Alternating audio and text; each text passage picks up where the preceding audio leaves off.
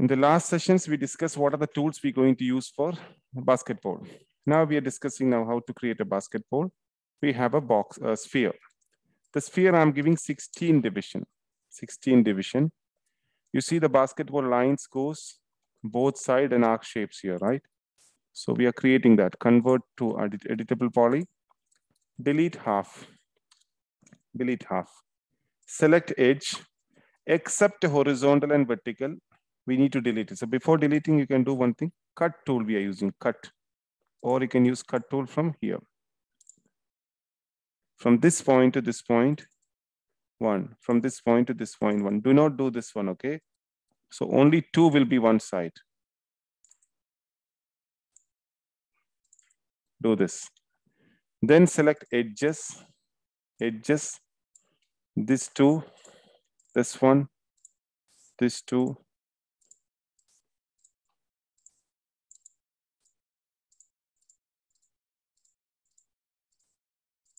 See, except horizontal, vertical, I selected everything.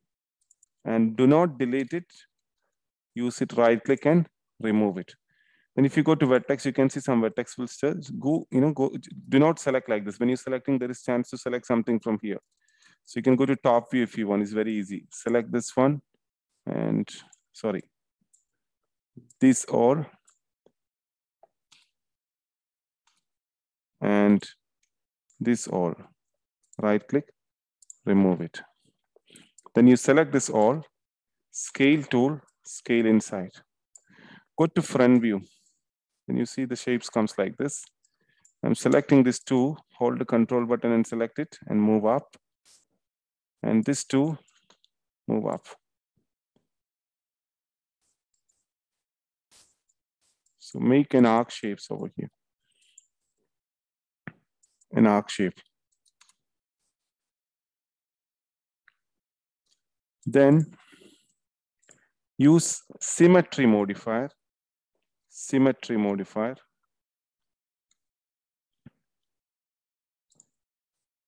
X or Y or Z you see.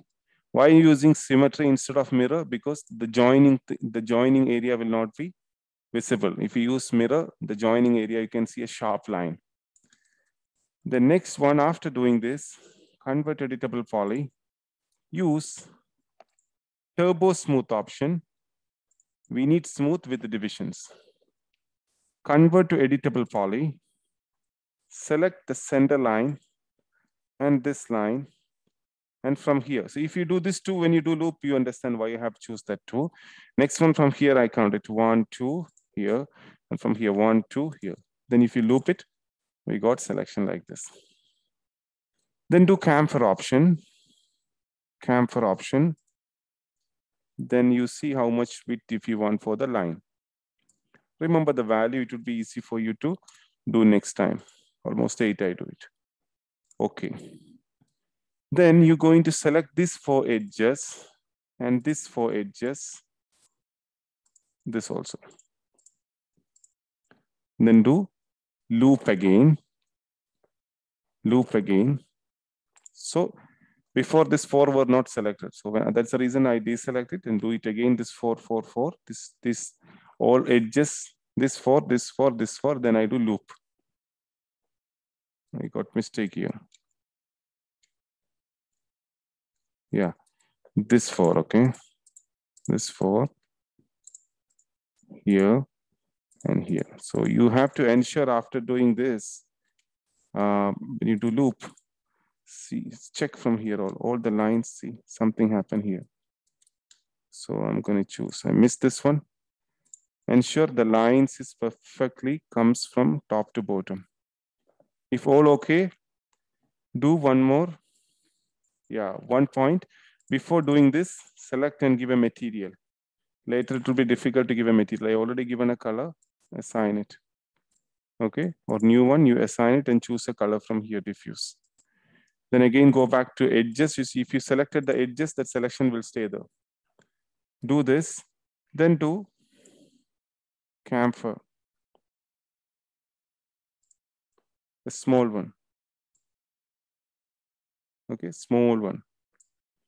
So smaller, smaller. Okay. Now, we're selecting this sender for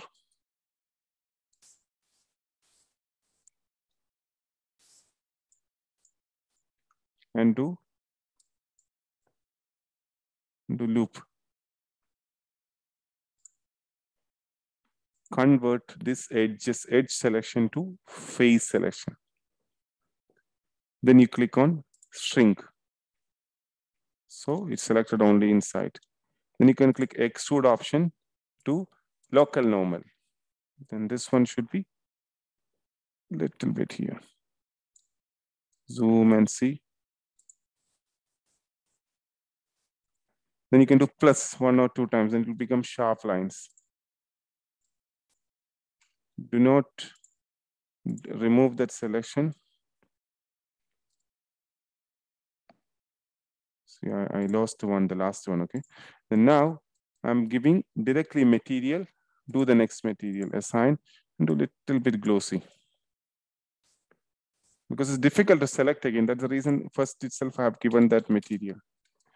Then usually what we do after all modeling, we will use mesh smooth to get it, the final result. So we use the same thing.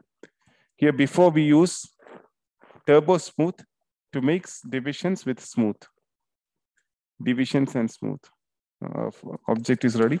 And there is an advanced option over here in this one. When you want to go to maps and all, we're going to do some bump mapping. When you click over here, you can create some cellular kind of shapes. So you see here, get this kind of an object and go back. And uh, you render F9, then only you will see what is the result you're gonna get. It's very bigger now. So you see when you go inside this map, you can see here tiling. I'm gonna make it to 10 and 10. And let me render and check. Still it's bigger.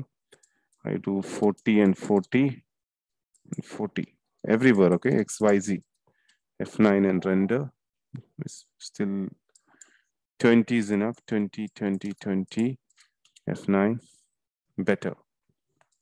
Can you see? The detail comes on it. If you want 25, 25, 25, F9. This detail, if you want to add it, you can go back and there is an option of your bump mapping. This you can increase it. When you increase it, this detail will be visible more. So you can go to 55 or 60 maximum. I think 50 or 40 is enough. 40, then you see the result. Okay. So the last portion, what I discussed now about material, if you're facing any difficulties, you can ignore it. Okay, that's an advanced session. We are studying modeling only now, but as part of when I'm creating this basketball, so everybody have a doubt that how can I get the detail? That's it. But if you render F9, then only you will be able to see the final result. And if you given one time material, anytime you can come back to your material and change this color. Anytime you can change it to any other color also can be possible. So this is the way you create basketball. This is the way you create material. Remember, first you give a material on it, okay? First you need to give a material. Otherwise it will be difficult to select both, right? Practice this one.